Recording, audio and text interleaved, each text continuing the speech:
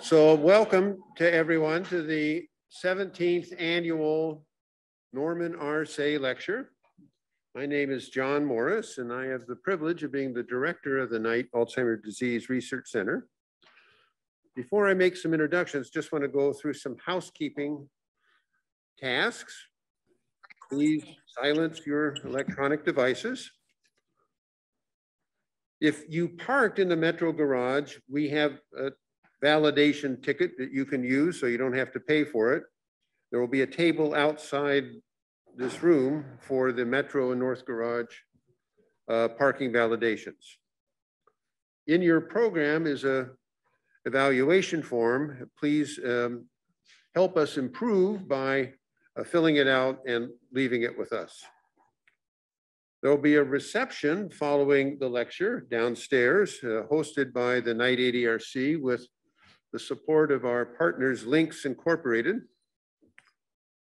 And I would like to recognize all members of the Knight ADRC's African American Advisory Board, including the Seay Planning Committee, including our African American Advisory Board Chair, Douglas Petty. Doug is raising his hand. Thank you, Doug. Arlene Moore Ross, Richard King, Murtis Spencer, Andrew Denny, and Joy Ballsbury.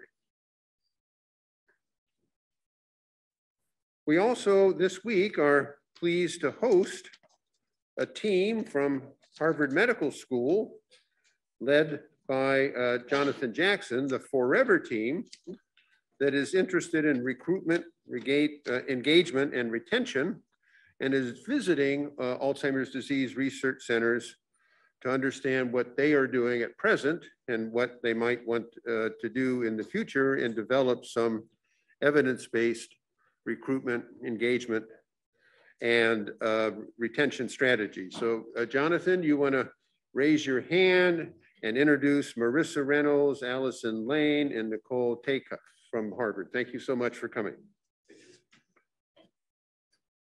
It's a real privilege for me to uh, introduce uh, to the podium in just a moment uh, Beverly Wendland, who is provost and executive vice chancellor for academic affairs at Washington University.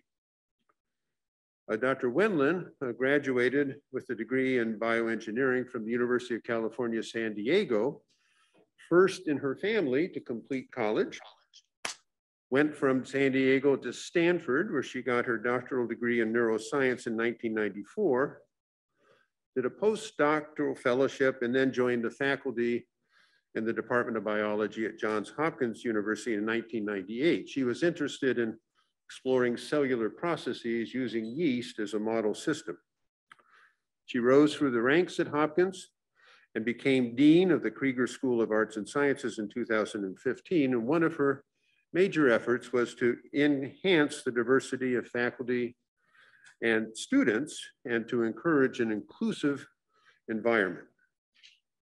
We were fortunate to bring her to Washington University as provost in January 2020, just before the pandemic.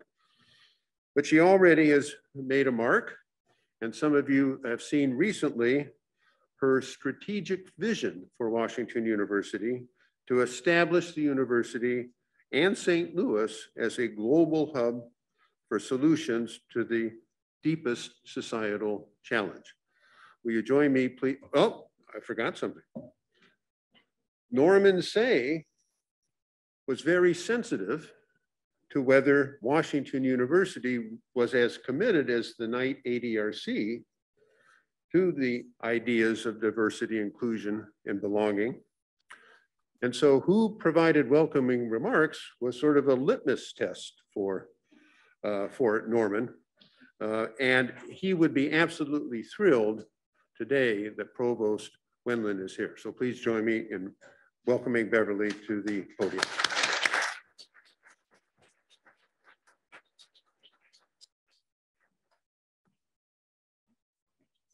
Sure. Well, thank you for for the introduction, John, and I'm I'm actually I'm very touched, and I really appreciate your kind words. So, um, good afternoon. I'm really pleased to be here with all of you um, to um, help get this 17th annual Norman. Seay lecture kicked off. And I really appreciate the opportunity to share this space with all of you at the medical campus. And also a special welcome to everybody who's joining us remotely. Hello. Um, so this really is a wonderful time for our university and our city to celebrate Norman R. Seay. And um, as John mentioned, last Monday, WashU unveiled our university strategic plan, which is called Here and Next. And um, we've got a great green logo, and I now have a green attire to be branded for our strategic plan logo.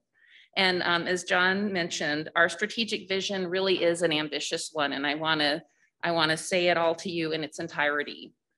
For our strategic vision, we will mobilize our research, education, and patient care to establish WashU and St. Louis as a global hub for transformative solutions to the deepest societal challenges.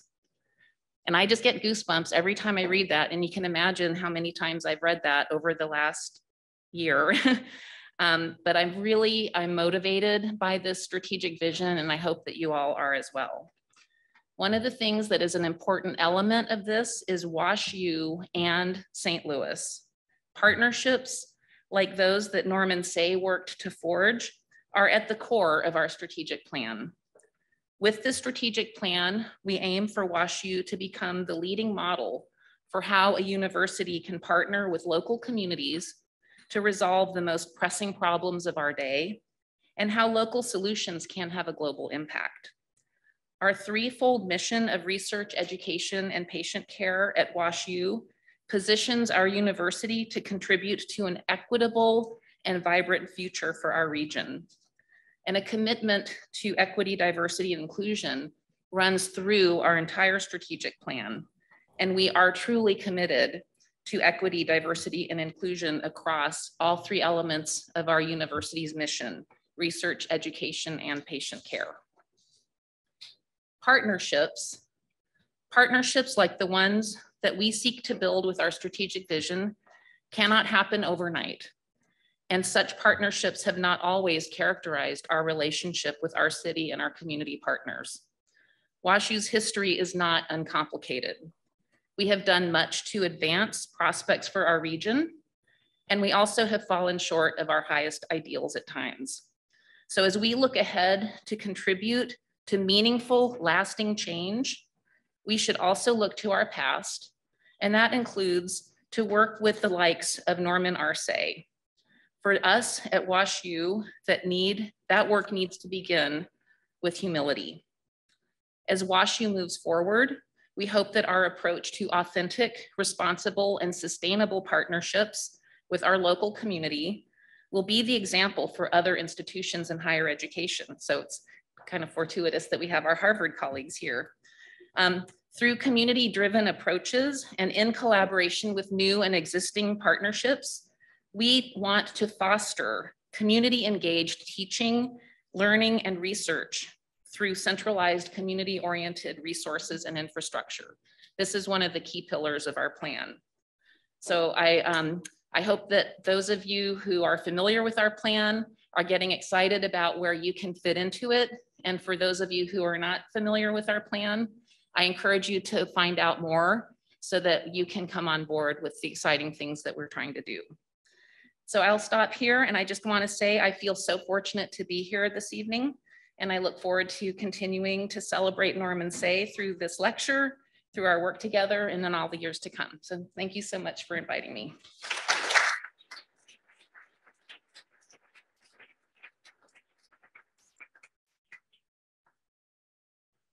Thank you so much, Beverly. Our 17th Norman R. Seay lecture is Raegan Durant, MD, MPH, who presently is Professor of Medicine at the University of Alabama School of Medicine and Associate Dean there for Diversity and Inclusion. He also is the Medical Director for the Cooper Green Mercy Health Services Authority uh, in the county where University of Alabama Birmingham Medical School resides. Dr. Durant did his undergraduate education at Howard University, had a major in biology. Then he did his medical school at Johns Hopkins. completing, uh, getting his MD in the year 2000. Then he went to Duke for an internal medicine residency. And from 2003 to 2005, Harvard School of Public Health, where he got his master's of public health. He left Harvard for Birmingham and uh, joined the faculty at University of Alabama, Birmingham, 2006 as assistant professor in the Division of Preventive Medicine. His interests are in addressing disparities in healthcare, increasing diversity in the clinical and research workforce, and developing strategies to increase participation in clinical trials by persons from groups who are underrepresented in research. He has received many honors for his teaching and for his work in health and representation. And it's notable that he is the current principal investigator at the University of Alabama School of Medicine of the RCMAR there, the Deep South Resource Center for Minority Aging Research. So Raegan, if you'll come to the podium, I have a plaque to present to you, and I'm sure someone is going to take a photograph.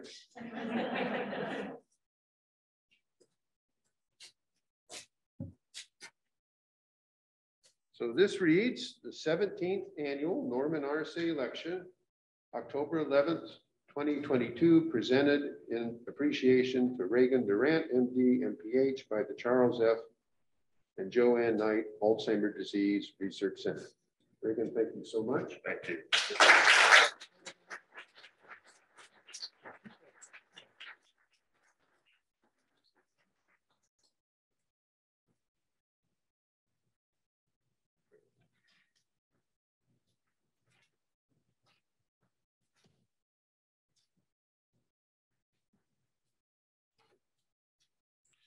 Morris, thank you so much for uh, not only the invitation, uh, but such a uh, wonderful uh, invitation as well as, uh, as a wonderful introduction, excuse me, as well as uh, the plaque. thank you all for coming out this afternoon.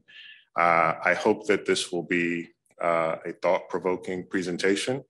I have been instructed to let the folks on Zoom know that you can put questions in the chat and then once the uh, presentation is over, uh, we, I will then look in the chat and try to address those questions as well as uh, taking questions here from the audience as well. So why don't we go ahead and get started. Yeah, clicker. By the way, the insert up there says Melissa Sugar, but this is not.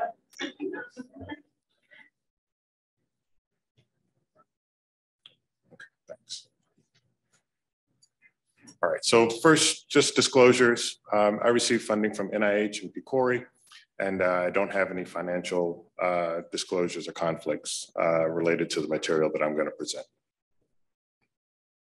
So I wanted to start off uh, with just an acknowledgement of Norman R. Seay.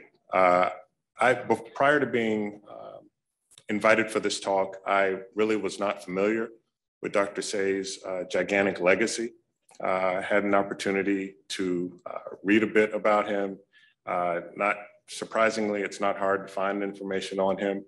Uh, it's quite a bit that has been written about him. Uh, and uh, as you all know, I'm sure you're very familiar with his biography. It's really quite amazing some of the things that, that he did in his lifetime from serving in CORE, Congress on Racial Equality, from a very young age, being a employment officer in uh, Maryland for the Department of Health and Education and Welfare, and then relocating back to University of Missouri St. Louis, where he held a number of administrative posts, uh, if I'm not mistaken, uh, culminating in his leadership of the Office of um, Economic Opportunity, and then finally uh, his service uh, here at Washington University in St. Louis, which is the reason why we're all here today. he was the inaugural chair of the African American Advisory Board. Uh, I chose this picture. There are many pictures of him online, but I thought this picture of him shaking hands with King was apropos. Uh, there are a number of national luminaries that we're all familiar with, and I think sometimes uh, some of the uh, individuals who did mammoth amounts of work on a local level uh, get overlooked. Uh, and I think it's really wonderful that you all honor Dr. Seay's legacy here um, uh, with not only with this lecture, but uh, I imagine in many other ways as well. Uh, you know, I this was a fascinating picture. Uh, again, I don't have to, I'm preaching to the proverbial choir here. you all are probably very familiar with his work in um, essentially taking sit-ins, which typically were in lunch counters and restaurants and transferring it that model to Jefferson Bank to get them to hire uh, Black tellers, particularly in those areas that uh, were not inhabited by, typically inhabited by African Americans. Uh, I think this is uh, Mr. Seay here on the back uh, right, uh, coming out of courthouse after, after being arrested. And you know, I just want to acknowledge that any milestones that I might happen to achieve, I recognize rest on the foundation built by persons like Mr. Seay and others. And I don't take that for granted. And uh, I uh, really do appreciate being invited to speak here in a lectureship that bears his name. So again, thank you. So uh, let's talk a little bit about representation of African Americans in Alzheimer's disease trials. So uh, as uh, Dr. Morris said, I am the 17th lecturer and I'm going to presume that my 16 uh, predecessors uh, probably made more than an adequate uh, case, probably more eloquently than I uh, ever could about the need for representation uh, of African Americans in Alzheimer's disease trials. So I'm not going to spend a lot of time here.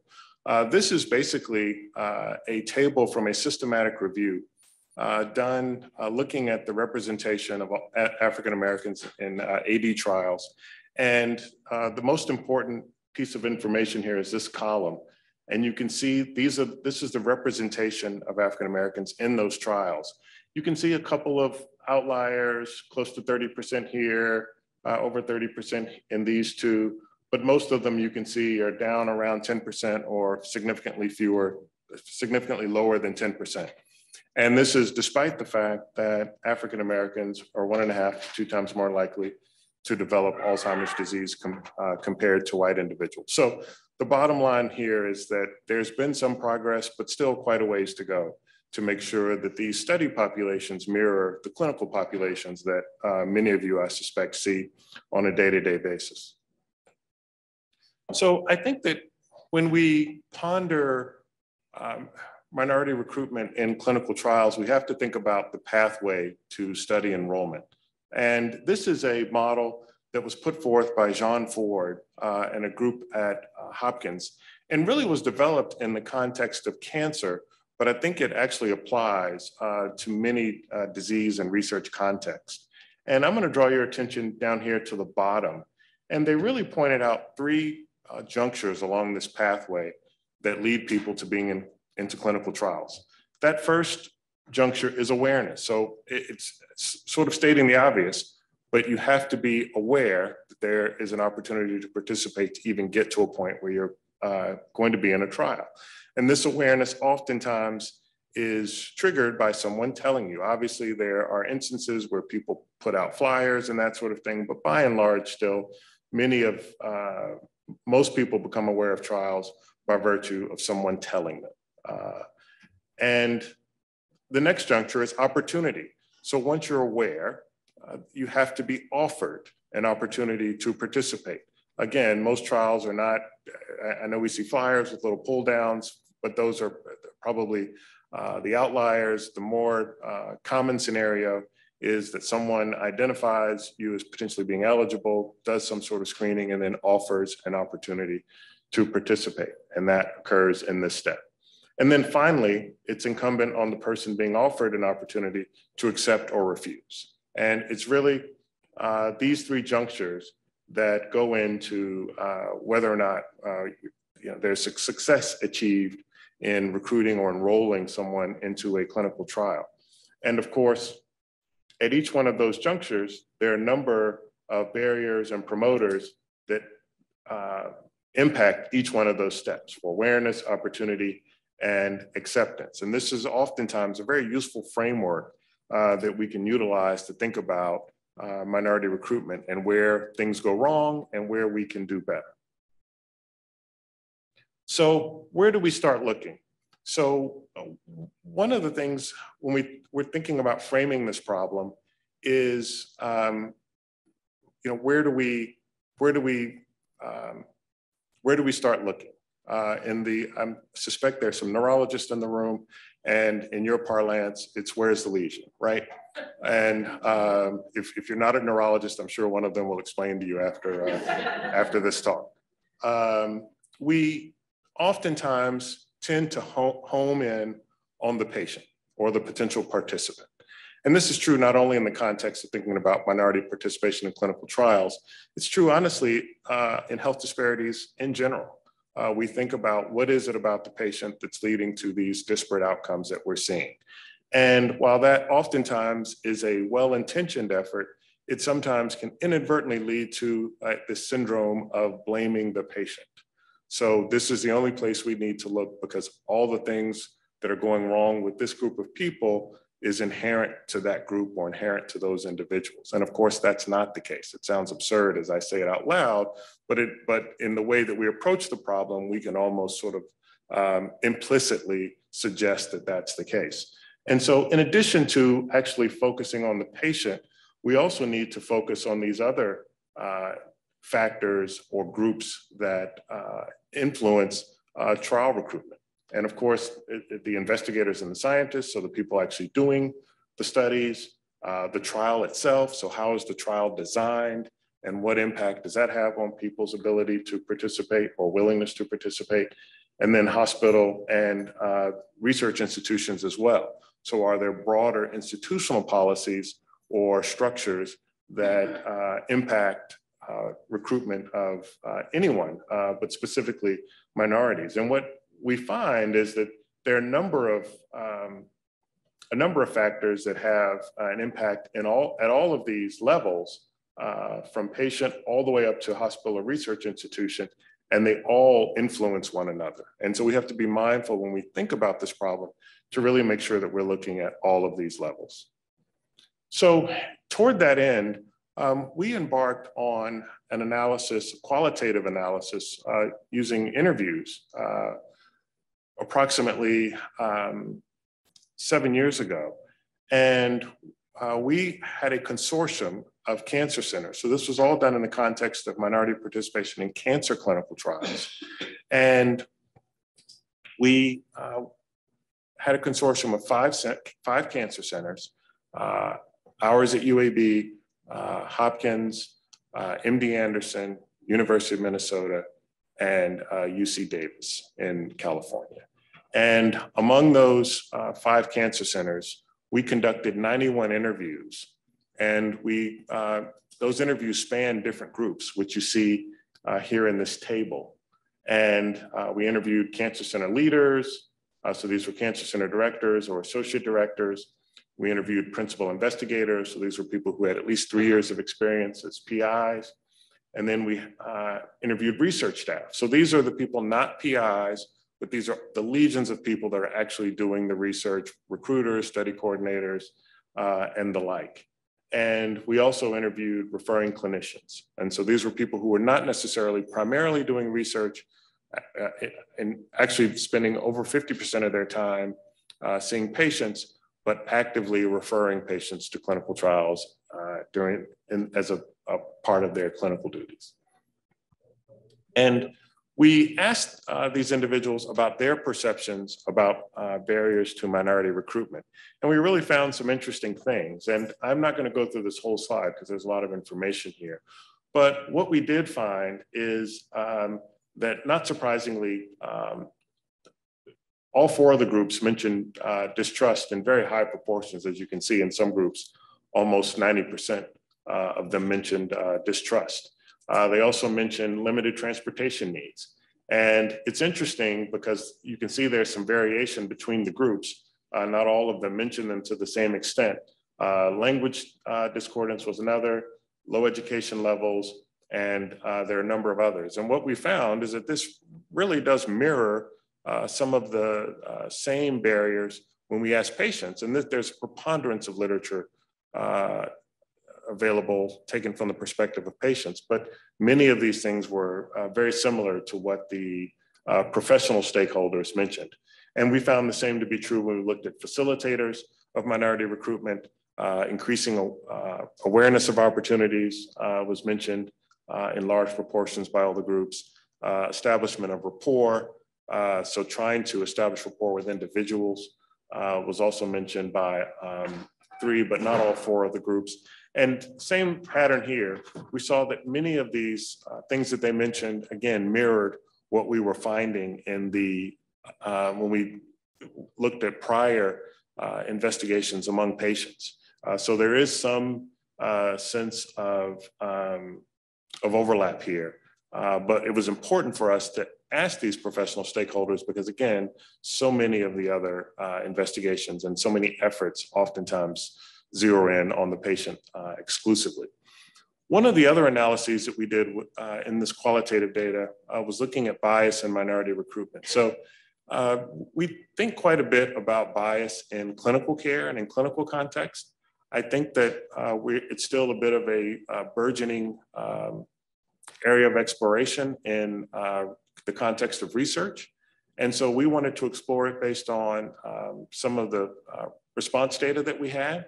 And we actually found quite a few things uh, that, that came up across our stakeholders. And we uh, came up with five themes that basically uh, really summarized uh, our findings. And those themes are listed on the left. And if you'll indulge me, I'll uh, share some of these with you. Uh, one of them was uh, interactions with potential minority participants were perceived to be challenging. And we had quotes. So these are actual quotes verbatim from, uh, from our uh, respondents, from our 91 respondents. Uh, African Americans, I think, have less knowledge. We take a little bit more time to explain to African Americans. I think they have more questions because we know that they're that they are not more knowledgeable. So I think it takes time. They have a lot of questions. So this is an actual response that we got, and and and it reinforces that theme. And I I, I predicted that there were going to be some groans and some head shaking, um, but you know I, I, I think it was quite telling uh, that uh, these these were some of the responses that we were uh, that we were getting. Uh, one, our next theme, potential minority participants are not perceived to be ideal study candidates. So uh, in this one, this first one from a research staff member is actually acknowledging that there's physician bias and says, physician bias, I think it's huge. I don't have any data to tell you this, but my thought is that I think physicians think about whether or not the patient would comply with the study. So that's someone who's sort of acknowledging that there is some, some measure of bias. Uh, this person uh, is making sort of a sweeping generalization I see that degree of altruism more in Caucasian women than I do in African American women. So again, uh, a bit of um, stereotyping there. And, and in that sense, um, reinforcing this perception, at least on this person's part, that uh, African Americans may not be ideal study candidates, and specifically African American women compared to, uh, to white women. And uh, the next theme was the combination of clinic-based barriers and negative perceptions of minority study participants leads to providers withholding clinical trial opportunities for potential minority participants. Um, here, the uh, exemplary quote was, I don't know if it's more them or me because I'm uncomfortable. One of my own personal biases, if I'm going to do the study and I know have, I have to enroll minorities, have I really had a conversation with myself? Am I really going to work? Am I really going to do the work to be able to make to have a buy-in and to really connect with somebody and to really have a trust factor so that people understand. So this one is interesting. It's someone who is self-aware enough to know that he or she is uncomfortable, but we can easily see where that level of discomfort could be an impediment to that person trying to enroll African Americans in a clinical trial. Uh, this uh, next theme, when clinical trial recruitment practices were tailored to uh, minority patients, addressing misconceptions to build trust, was a common strategy. Uh, this person uh, says, I try anytime I'm speaking with an African American patient to be aware of the history of the abuses that have taken place in this country, particularly in the African American population. So this is someone who tries to uh, appreciate the context that um, some African Americans are viewing uh, uh, invitations to enroll in trials and perhaps, quite frankly, the whole healthcare endeavor at large and, and trying to be sensitive to that. And then lastly, for our last theme, for some respondents, race was viewed as irrelevant when screening and recruiting potential minority participants for clinical trials. This person says, I don't view the recruitment of African-American patients any differently than I do any patients. The other person says, I do think that there's an economical educational issue which transcends a minority issue. It's more of an economic thing. So in this first quote, you have someone who basically is uh, suggesting that there be a race neutral approach and uh, I treat everybody the same. In the uh, second quote, you have someone here who is acknowledging that uh, any differences that uh, may be perceived are not necessarily due to race and there's nothing inherent about African Americans. There may be other factors at play, socioeconomic status being one of them. And so we really thought that these were really fascinating because in so many instances, you know, the best we can do perhaps is to measure implicit bias. And this is sort of what we all is going on in, in all of our subconsciouses. And, and we, um, it's very difficult to measure that.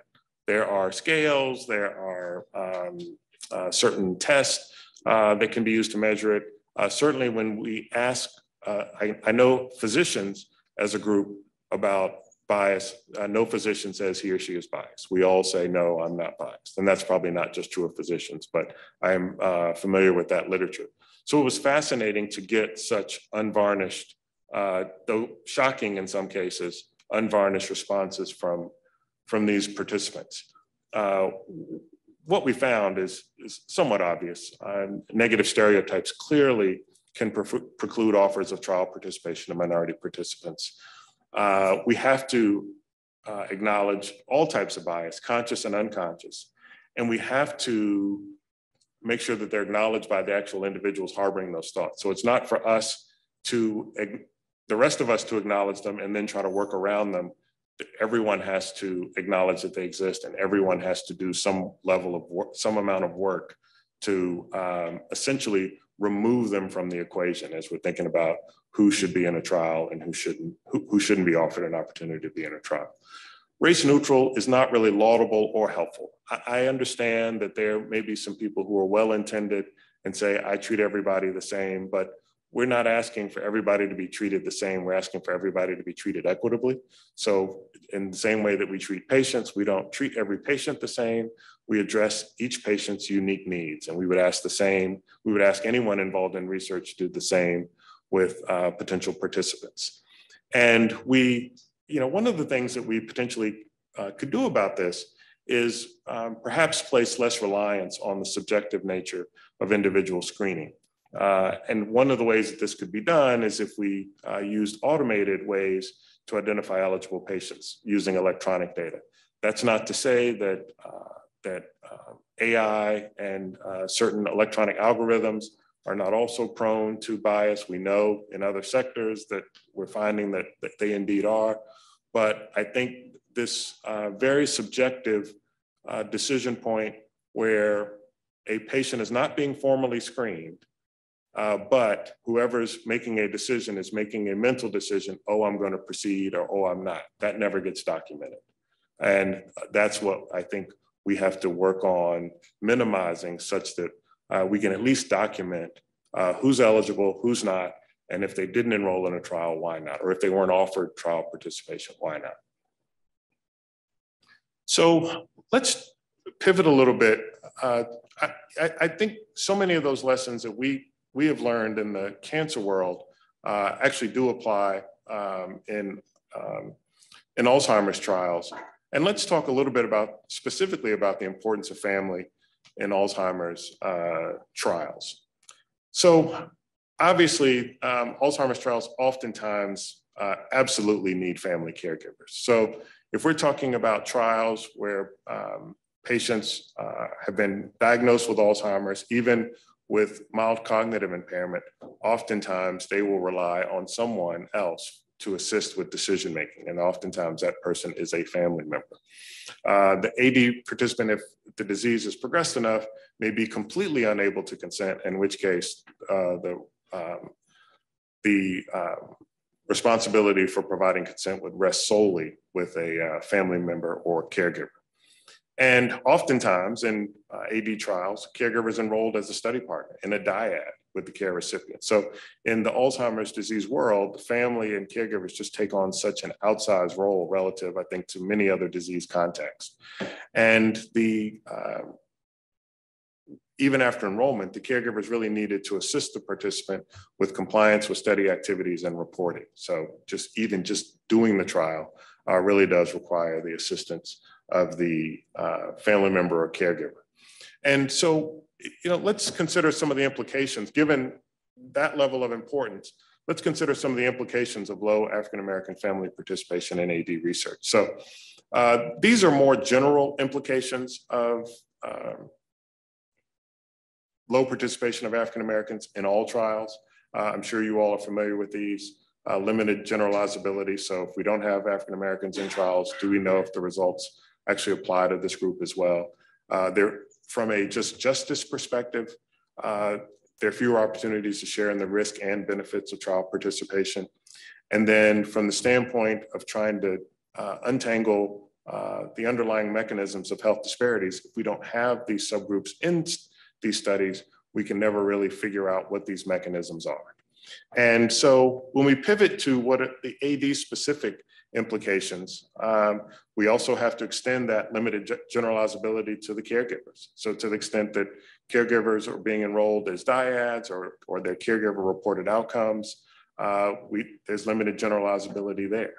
Uh, we're also less able to enroll patients with advanced dementia. So someone with advanced dementia oftentimes could not get through a study if it were not for the family member of the care. So are we looking at having a disproportionately lower number of African American participants simply because we can't get buy-in or engagement with the family member? And the data collection may be less feasible for reasons that we've already discussed. If there's uh, some uh, patient reported outcomes or caregiver reported outcomes. If they're not in the study, they can't report them. And then retention it, uh, in and of itself may be compromised. Are you really going to have someone be able to stay in a study if you're not able to engage the family member or the uh, or the caregiver? And so this actually also sort of warrants sort of taking a step back and thinking sort of what is family. Uh, this in in the age of 23andMe and uh, an amateur genealogy, uh, you know, I think we're all familiar with um, these sorts of charts and, and, and what they mean. If we assume for a minute that this is a uh, person who has uh, Alzheimer's disease, um, you know, we can easily identify family members here. Uh, these don't show spouses. I wanted to kind of keep it simple, but presumably uh, this person has a parent that's immediate family, uh, a sibling, um, children, and, and grandchildren as well. And uh, this uh, def defines family structure as, as many of us might think of it, particularly when we think about uh, uh, majority group here in this country. I think that's in stark contrast to what we think about when we uh, talk about African American kinship networks. They tend to be more extended, uh, and this really is a vestige uh, of uh, several um, centuries ago um, African tribal culture. Uh, and it also is a vestige of uh, family structure here in, uh, in the US uh, under slavery, uh, because those family bonds tended to be extended uh, to help withstand the duress of slavery. And also those family, those biological bonds oftentimes were severed by virtue of families being split up um, um, across different plantations. So as a result, uh, we oftentimes, we African Americans oftentimes uh, have extended uh, kinship networks that include uh, much extended families. So not just uh, a sibling, but maybe cousins, aunts and uncles, friends, neighbors, individuals in shared group membership. so this could be churches, could be civic organizations, and then even just the broader community. I mean, there are many, many examples of communities just adopting individuals, just saying, we're not going to let this person fall by the wayside. Uh, and, and if you ask them, they will say that they're family. Uh, so we have to be mindful of this uh, different structure in African Americans. And uh, to that point, uh, there was a uh, study of the uh, national study of, or analysis from the national study on caregiving of about 1,500 caregivers. And um, what they, oops, what they found is that among the people who were, these were caregivers of people with, um, with um, dementia, what they found is that some element of dementia uh, African Americans were more likely in this column, were more likely to be taking care of someone who had probable dementia, and they were more likely to be taking care of someone who lived um, below the uh, poverty line, uh, significantly more so than whites, almost to the tune of three times more uh, likely. When we looked at the actual caregivers themselves, uh, you can see here they tended, they were more, they were less likely to be spousal caregivers. Uh, they um, were more likely to fall into the category of other families. They also were more likely to be uh, under the age of 65. And not surprisingly, as a result, they were more likely to be working uh, 40 hours or more uh, weekly and, and less likely to be working 20 hours or less. So well, the picture that's being painted here is that we have an extended group of individuals, not necessarily biological relatives in every case, uh, oftentimes working age, and um, oftentimes taking care of people who live uh, with limited financial resources. And despite that, uh, what's interesting is that the, the study found that um, African Americans were more likely to um, report more uh, sub substantial perceived gains, more likely uh, than whites from caregiving. And uh, this is despite uh, facing um, more uh, financial strain, uh, but they reported less emotional strain. So it really does create this paradox of race-based disparities among older adults with disabilities, despite the provision of higher intensity care with limited financial resources, uh, Black caregivers perceive their situation more favorably. Uh, this is um, this is fascinating. It's something that's been shown time and time again when we look at caregivers, caregiving uh, among African Americans. Uh, when we think about framing trial participation, we have to think about family and caregivers as gatekeepers. Uh, it's understandable given the time, uh, energy, and emotion that they invest uh, in their caregiving roles. And we have to understand that anytime we talk about an opportunity for trial participation, there really does have to be a bi-directional appraisal of, of, of, that opportunity. So we, on the one hand, as researchers and scientists are saying, I've evaluated this opportunity. I think it would be good for you, uh, but we have to recognize that they are doing the same thing. We're not handing them a lottery ticket. Uh, it's not a no brainer for them. They, in turn, want to evaluate and make an assessment. And uh, we have to, when we think about the potential barriers, again, make sure that we take into account all four of these, uh, all five of these levels, not just focusing on the patient. And there really are some logistical things that we can do to make sure that we um, enhance the, the likelihood of engagement and ultimately, uh, if, if, that is the goal, recruitment of African American family and uh, caregivers as well as the actual participant. We have to acknowledge that whoever is accompanying the patient um, to a clinic visit or study recruitment visit, we, we have to acknowledge them. So we can't walk into a room, see a third person sitting there and not say anything to them.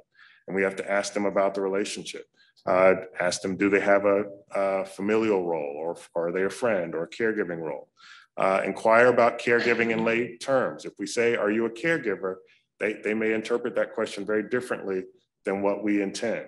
So, you know, other ways to ask it, does this person assist you at home or else elsewhere? If so, how? That will help us define that role as we think about uh, engaging that person, quite frankly, just in care, but secondarily potentially in, in research. Uh, include them in the discussion. Uh, it, it sounds readily evident, but I, I don't make any assumptions. I want to tell you all, not I want to tell Mr. Smith.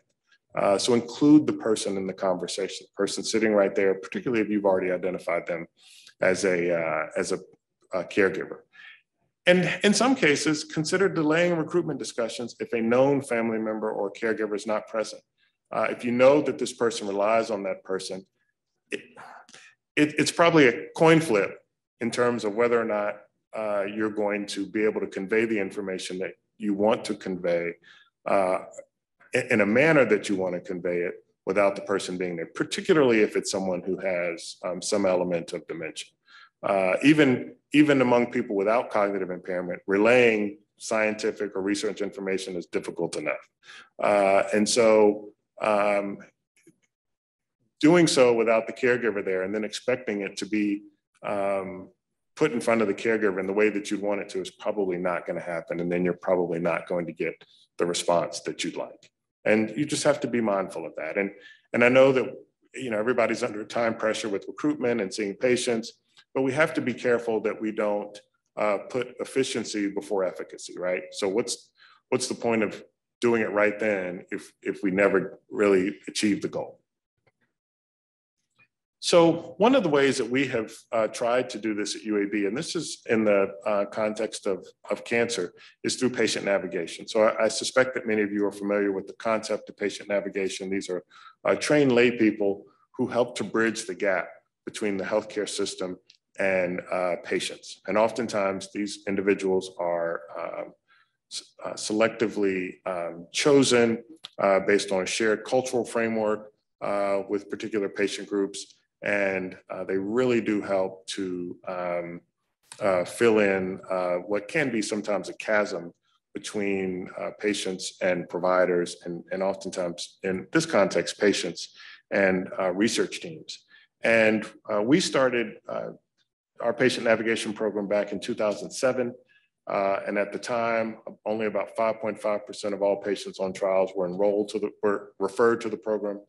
Uh, but uh, by 2014, that number had almost tri tripled. During that same time, the um, percentage of African Americans comprising um, study populations in the Cancer Center trial populations rose from 9% to 17%. So uh, it seemed to be quite effective uh, during that time. And so it, it, that slide just spoke to how effective our patient navigation program uh, is they have a wealth of um, a wealth of experience uh, actually recruiting these patients and recruiting families and talking to families.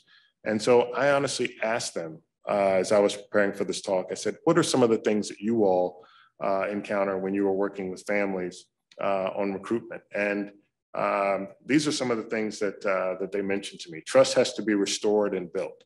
I think uh, they were being, uh, and these are quotes from them. I, I, think that they were being intentional when they said restored. Uh, it's not that every uh, African American person or family member comes from a place of distrust, but you have to accept that that might be possible. So there might be a bit of restoration in addition to trust building. Uh, respect is vital from the beginning to the end. That says it all. It has to be from the very outset and all the way through uh, the engagement. Removing all judgment based on outside appearances. So I think just making sure that we just accept people and take people at face value. Uh, and we have to put aside sometimes our cultural norms versus their cultural norms and accept the fact that uh, there may be a number of contextual factors in their own environments that we have no um, idea about. And, and those factors may uh, impact any number of things. Uh, so we have to give people the benefit of the doubt. It's not about giving the benefit of the doubt. It's about being non-judgmental, uh, um, period, and uh, and and take people at face value. Uh, patients and their family members need time to process the information being presented to them. Again, this kind of goes toward the efficiency argument. Everyone's in a hurry, but we have to recognize that people need time to process this information. Oftentimes in the context of Alzheimer's, when people are at the doctor, it's just honestly oftentimes not good news. And so um, we have to make sure that uh, we aren't trying to shoehorn this in as they're trying to process other, perhaps more disappointing and at times even devastating news. Uh, patients and family members need to feel that they're valuable members of the clinical trial team. So again, in many cases, you're recruiting a, a unit. Uh, even if you're not formally doing so for the purposes of the study. Practically speaking, oftentimes um, you are. And then we as healthcare providers really can learn so much from patients and their families if we would only listen to them. And that's, uh, they, they uh, have told me many anecdotes about uh, patients that were in studies and uh, investigators couldn't figure out what was going on. Navigator talked to the family, got some insights, and then suddenly, you know, voila, something was solved or discovered that answered the question. And so we have to uh, do a better job of listening to patients. These are two of our navigators, Angela Williams and uh, Kim Robinson. Uh, each of them has over 20 years of uh, experience as, as uh, navigators. They do tremendous work uh, for us. So let's talk a little bit about incentivizing African-American study um, partner participation. Um, one of the difficulties here is that, um, you know, in 2018, 50% of AD related costs in the US uh, from 157 to 215 billion dollars annually uh, estimated uh, were the cost of informal caregiving uh, provided by over 15 um, million American adults.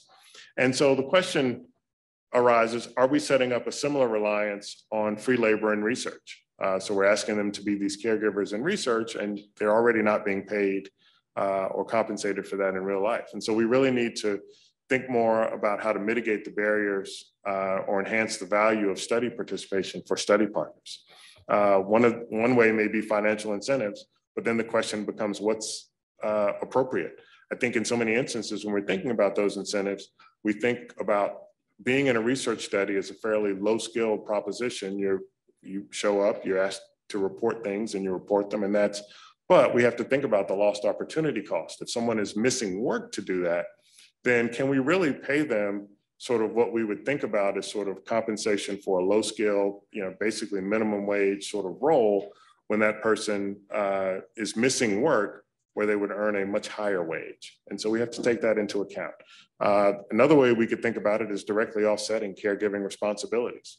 So assuming that there's, uh, it's not what's being studied and we're not contaminating the study condition, you know, can we offer respite care while they are participating? Is that a means of compensating them? Um, again, to the broader point about not thinking just about patients or the caregivers of the study participants, we can think about um, study design. And there are a number of things here. I'm not going to go through all of them uh, for the sake of time, but allowing for non-spousal partners. Uh, if we have studies that only have spousal partners, that's going to uh, eliminate a lot of African-American uh, patients and, and uh, caregivers off the bat. Can there be shared caregiver roles in research context? So if there are multiple people uh, who are working together to be a, to serve the role of caregiver, can they all participate and can we get it, gather information from all of them? Um, can we have after hours or weekend time to participate or include travel uh, reimbursement? Uh, from an institutional standpoint, can some of these services like travel uh, be provided across all trials and be provided by the institution? Uh, and can we formally recognize uh, family and caregivers when patients initiate care? Can we do a better job of that so that they already feel engaged uh, by the time we get to some sort of research context? And then there's a broader ecosystem and, and broader social policy. Uh, you know, we'd really love to see our funders, uh, whether it's NIH or foundations, include money for engagement and recruitment of family and caregivers, uh, just uh, as a matter of uh, course uh, when making funding awards. Oftentimes, when we try to look for those portions of our budget which we can allocate to recruiting, those dollars oftentimes are very slim. yet the funding sources want us to have representative populations enrolled. Uh, you know, can we even think outside the box about FMLA? Uh, can F FMLA or other uh, employment policies uh, be used to cover research um, participation? Obviously, it's used to cover healthcare, but as a society, if we want to see uh, some of these uh, diseases um, cured or, or at least with better treatments, can we um, ask employers to be more forgiving uh, to allow people to contribute to those efforts. So we've talked a lot about participation, but I think you know the ultimate goal really is getting to partnership. And so the table on the left is a um, from a JAMA piece uh, on uh, continuous um, engagement, uh, community engagement. And there are a number of um, um steps here in the uh, process from conceiving a research question all the way to disseminating information after the project is done and then ways in which the uh, patient can be engaged at those various junctures. Here's some of the high points from uh, this table. When we think about the conception of ideas, we can solicit ideas uh, and topics with built-in reality check. So we want to make sure that you know what's being proposed as a topic is a priority to the people that are being studied. So it's nice if I sit in a room with my colleagues and come up with something that I think is very fascinating. But if it's not meaningful to them, then we have to maybe take a second look. Thinking about study design and, and execution, um, talking to patients and families and communities can inform data collection content and procedures. And we can even allow for input on analysis plan. And this may seem anathema to uh, the scientist in the room, uh, for those of us who are not biostatisticians, we may reflect on the fact, I speak for myself, that sometimes it's even hard for us to follow sort of the intricate details of, it, uh, of an analysis plan uh, without the help of a biostatistician.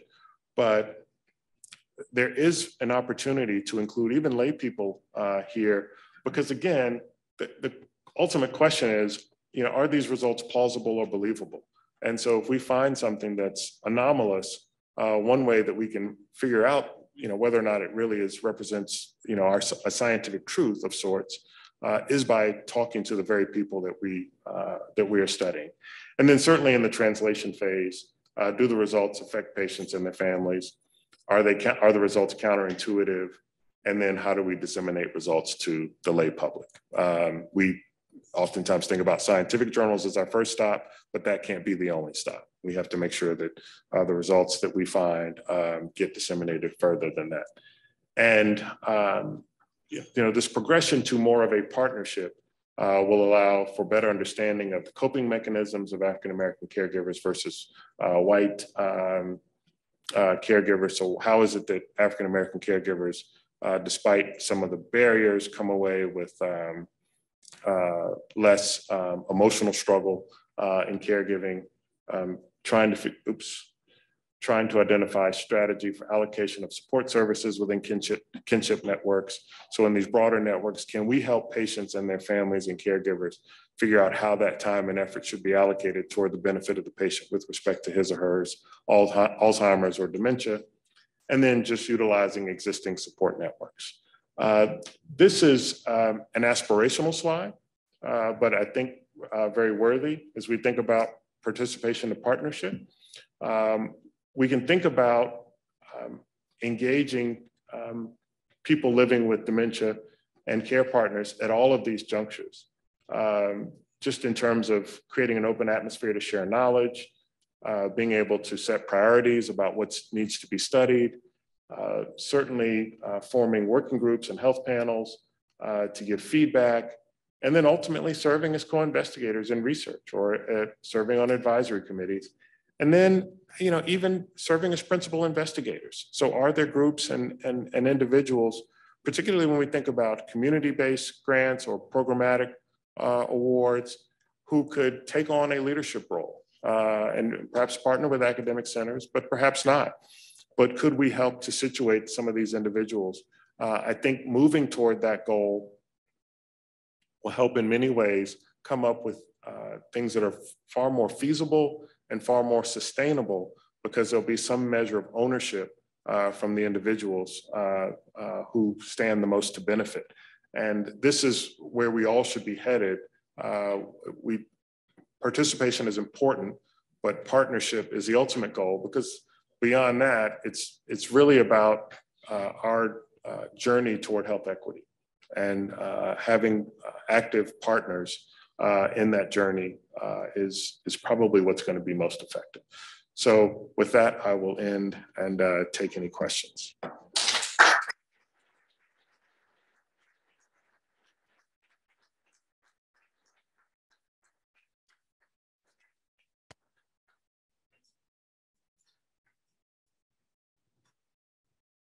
So it looks like the chat is empty. So I'm Uh, I'm, I'm happy to take questions through either means.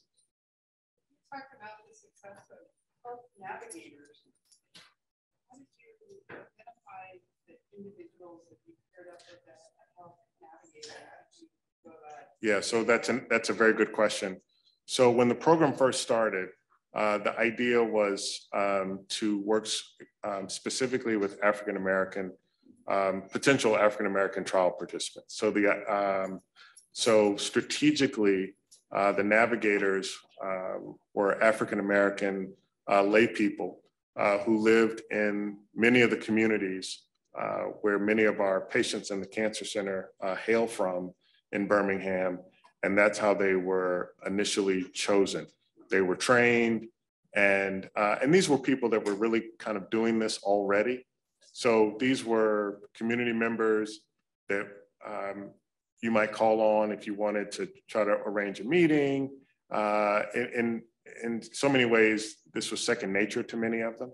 Um, the, the interesting thing is that um, we about about 10 years ago now, uh, maybe more recently than that, I wasn't directly involved with this grant. We had a CMS uh, grant to look at navigation across the board. So at, for all comers and actually found that it was cost effective.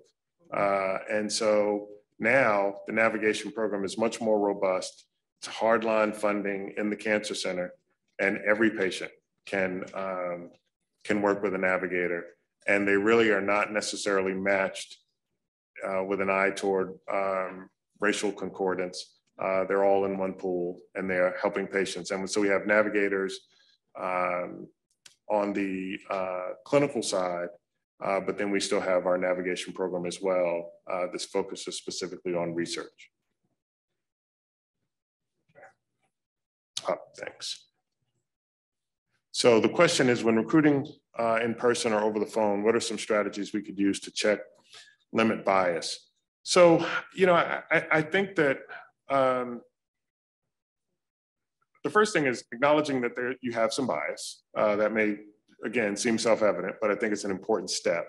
And I, I think the other thing is uh, really being mindful that the person that you're speaking with may come from a different framework than you do uh, and may have a different worldview than you do.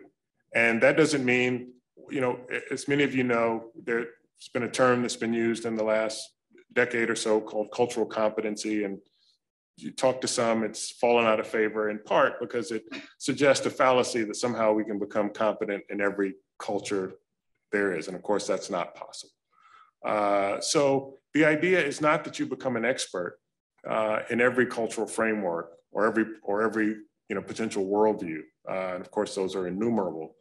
Uh, the idea is that you you're aware that there may be differences, and you um, approach people with a certain being non-judgmental and being open to the fact that their uh, framework may be different from yours, and uh, and going from there. And and I think sometimes if there's a question that needs to be asked, people don't mind you asking.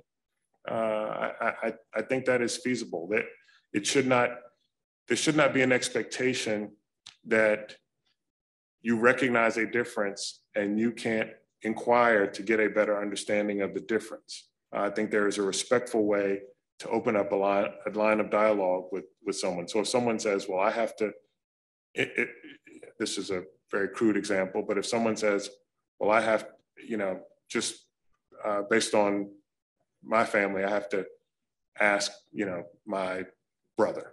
Uh, he's the oldest man in the family. Uh, I think that's okay to say, oh, well, I understand. Is there is that a tradition in your family? There are ways to, to better understand that and, and not be judgmental, but to get an understanding of where the person is coming from. Um, so I hope that answers that question. Um, I'm going to get, I see your hand raised, sir. I'm going to come to you in just a second. Can you talk more about how transportation of participants and or their accessibility to the university site has been addressed over the course of your project? Uh, yes, so one of the things that the navigators are armed with is travel vouchers. So one, you know, this talk could have been about the navigators, really. they're, they're the ones uh, who are doing so much of this. One of the things that they did early on, when and those you saw where that line was down around five percent, were basically they had to kind of prove themselves, um, for better or for worse. And they actually went out with local businesses and um, essentially negotiated uh, gifts in kind uh, for their program. And one of the companies, uh, I think a couple of companies at least, that they worked with were uh, cab companies. You, um, you, can tell it was a while ago. Uh, uh, it wasn't Uber or Lyft, but it was they were cab companies, and they would get vouchers, and they had a certain allotment every month, and then they could sort of uh, give these out. I, I think now UAB may have a, an official arrangement with Uber. I think, uh, and that's how they handle it today. But it really was going out and beat, beating the pavement. They did that with um, cab companies. They did it with um, um, some local hotels. So people who are coming from far away. I suspect that there are a number of people who come here for care who are probably from rural parts of the state. And uh, people needed to stay overnight or stay for several days. Um, so there were a number of those barriers that they really help patients to um, mitigate uh, just for um, uh, being part of a uh, study. So what is your perception of what potential participants expect in terms of personal research results as opposed to study-wide results? Yeah, so does this affect recruitment? Yeah, so this is very interesting. Uh, I, I think to the extent we can give people personalized results, I think that's good. And I know just from being here today that a good bit of the work that's done at the Knight ADRC is around biomarkers. And so I would imagine in um, some of those contexts, there's an opportunity to give participants uh, individualized feedback. I think that helps a lot uh, because it gives makes them feel as if they're getting something uh, back in return. They're getting some information uh, back, and and you know, admittedly, by virtue of it being a study, that that information may not necessarily be actionable in the moment, but at least they're learning exactly what the investigator knows about them. So I, I think that is uh, very helpful. I think aggregate results, though, still are good because it gives people an idea about how the whole group did, and it also gives people an idea about what inferences ultimately will be drawn from the um, from the study. I think all of us is a great example of this. So I, uh, I don't know if you all are a site for all of us, but um, it's the um, NIH sponsored study to uh, enroll uh, a million Americans for genotyping. And uh, it's going on all over the country. And uh, one of the um, benefits of being an All of Us participant is that um, you can get um, specific genotyping information back uh, and you get a customized report. Uh, and so patients can uh, who participate can get that. Yes, sir.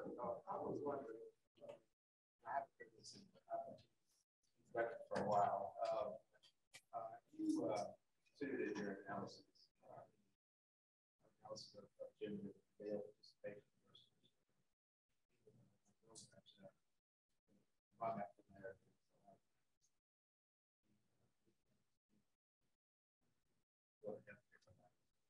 Sure.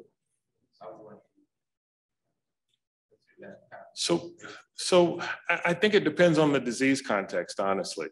Uh, I think there are some disease contexts where you find that, but in others not. So for instance, if you look at, if you look at prostate cancer uh, trials, um, African American men oftentimes are overrepresented uh, in prostate cancer trials. But I think that's because that alarm bell has been ringing now for probably the better part of the last two decades in prostate cancer.